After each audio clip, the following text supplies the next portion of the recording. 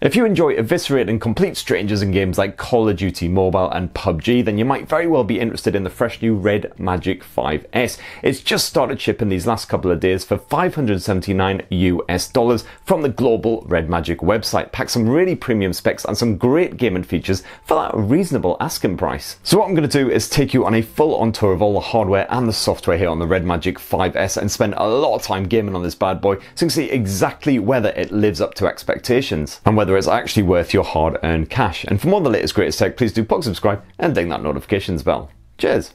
I've got to say, it's great first impressions. Absolutely love what uh, Nubia is doing with this snazzy comic style design here on the packaging. There's the actual red magic. I'll just pop that aside, check what's in the rest of the box. Inside of the box, not looking quite as exciting as the outside. Got to say it. It looks like basically you get your adapter plug, your USB Type C cable, which to be fair gets top marks for being bright red. You've got your bit of quick start guide action, and also it's good to see a bundled condom case as well, just in case your palms get a bit sweaty during all that frantic gaming action and you end up doing the worst and dropping the Red Magic 5 5S. Right, so that's all the bollocks in the box. Now let's actually check out the Red Magic. Now the first thing that always amazes me when I pull a gaming smartphone out of the box is the absolute weight of the thing. This is a 220 gram monster, so it does pack some proper heft. What you've got is glass front and back with a nice bit of metal edging just to break it up, sandwiched in between the two. Although that glass backing does actually have a lovely metallic style sheen to it, as you can see there, it is a matte finish, so hopefully the lack of gloss means you won't be covered in greasy, scuffy, horrible fingerprints. This here is the Sonic Silver model. It definitely looks very sleek and shiny, but you can also pick it in the rather eye-poppingly in-your-face pulse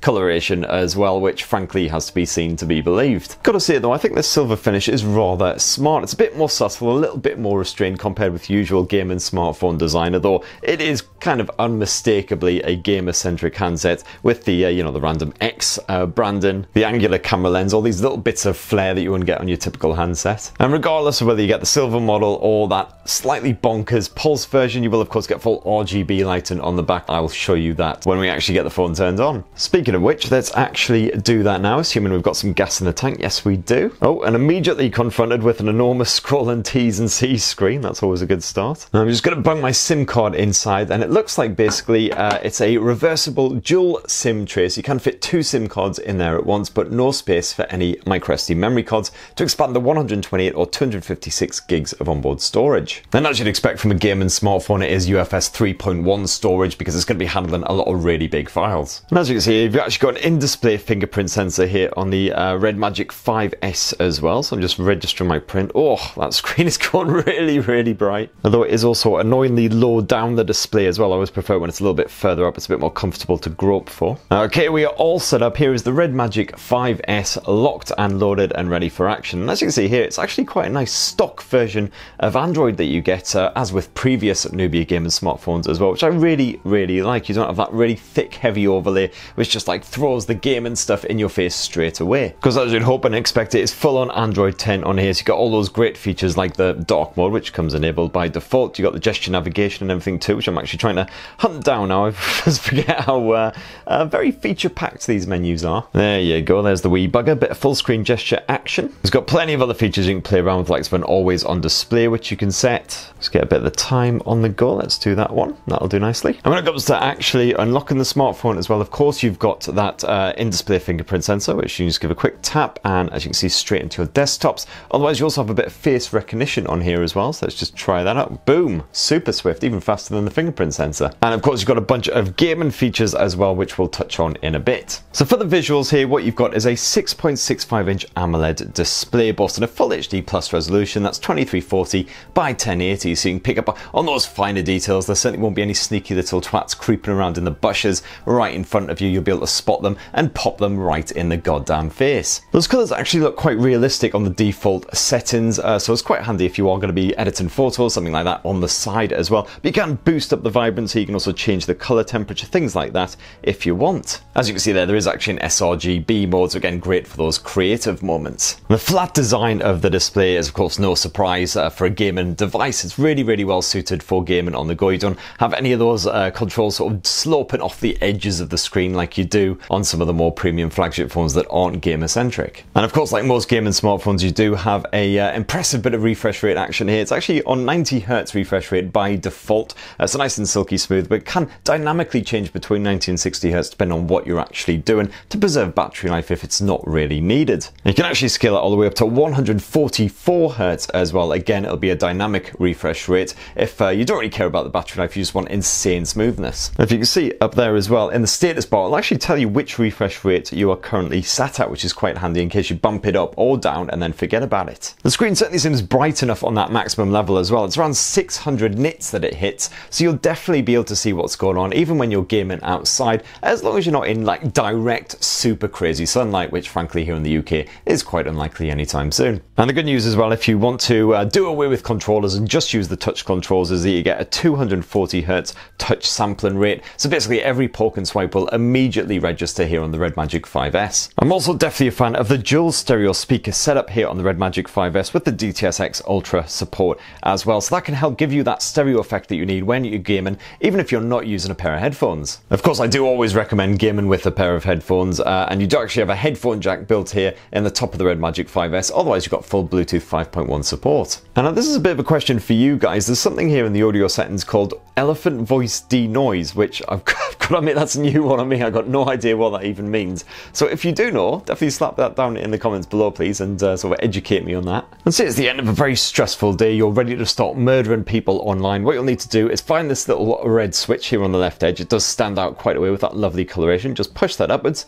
And what you'll do is enter the Red Magic Gaming UI. This gives you fast access to all of your favorite mobile titles that you have installed. And if you flick from the right edge of the screen like so, you'll open up a fresh new menu with loads of gaming related features. And that menu can actually be dragged out at any point while you're gaming like so. If you want to fast access any of those features on the fly, definitely very handy indeed. Now amongst these gaming features is a performance boost tool, but that's not really needed here on the Red Magic 5S thankfully because what you got is the Snapdragon 865 chipset backed by either 8 or 12 gigs of RAM. I've got the more basic 8 gigabyte model. So during all of my gaming sessions, I basically didn't touch that game enhancement tool. I just left it on the auto mode. So you do have the likes of the GPU turbo, the CPU turbo, or the super performance if you really want them. And sure enough, that Snapdragon 865 chipset backed by 8 gigs of DDR5 RAM absolutely tore through PUBG Mobile and Call of Duty on those maximum detail settings at a dependable 60 frames per second, basically never really fluctuating at all. You got a perfect frame rate at all times, so you've got the edge over the competition. And to keep the Red Magic 5S from getting too toasty, you've got the Trinity cooling system. This is a combination of your traditional liquid cooling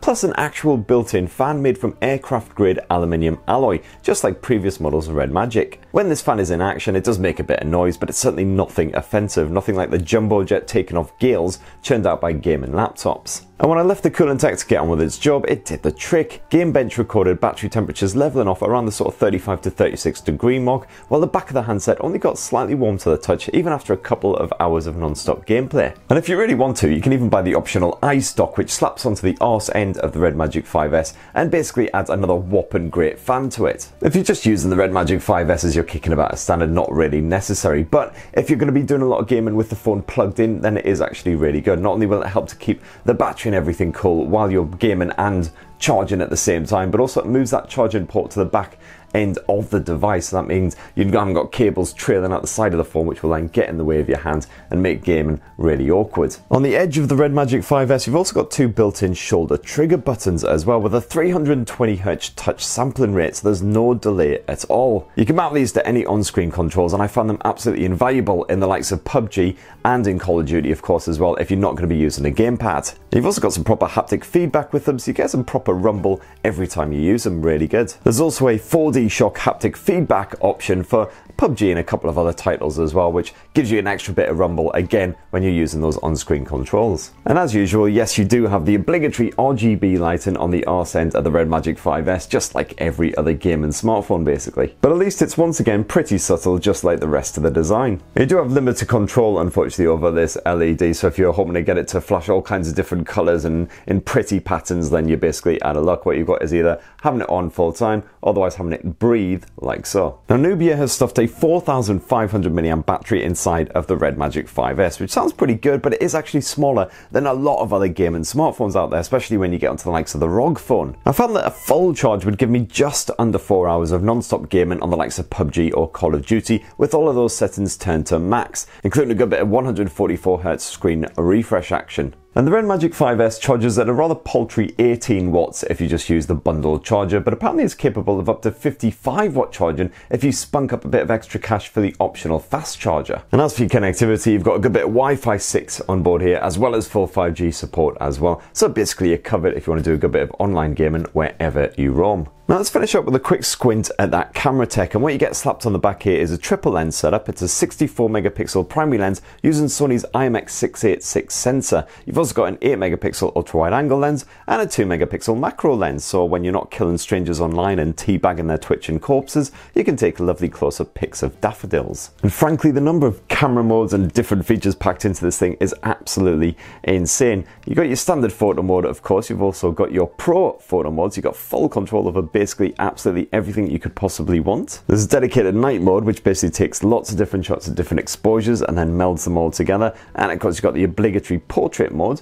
which just adds a nice bit of a bokeh style background effect to really help your subject stand out. If you want to shoot video, the good news is you can capture those home movies at up to Ultra HD 4K level at 60 frames per second, which is great to see. And you've also got a whole bunch of bonus camera modes slapped on here as well. Just too many to even fathom, frankly. And so far from a quick play, gotta say, really liking the results from this Red Magic 5S. Not too surprising given the IMX686 sensor slapped on there, but of course the software usually plays a big part in image quality as well. But yeah, looking good even with sort of, you know, fairly strong contrast and everything. Get some nice details packed in there, some nice realistic looking tones and colors. And while that primary lens shoots in 16 megapixel resolution by default, you can actually bump it up to 64 if you want that full finer detail. And if you want to take a selfie, shoot yourself, uh, doing a bit of commentary on some games, something like that, you've got an 8 megapixel front facing camera as well. So it's all fairly basic, but hopefully should do the job nicely when needed. And that right there in a nutshell is the Red Magic 5S. So it's not the most fully featured gaming smartphone out there, not the one packing the super best performance or battery life, but you know what? For value for money, definitely right up there. And it will satisfy anyone who wants to do a good bit of Call of Duty, PUBG, anything like that on the move. But what do you think? It'd be great to hear your thoughts down in the comments below. And please do poke, subscribe and ding that notifications bell for more on the latest and greatest tech. Cheers everyone, love you.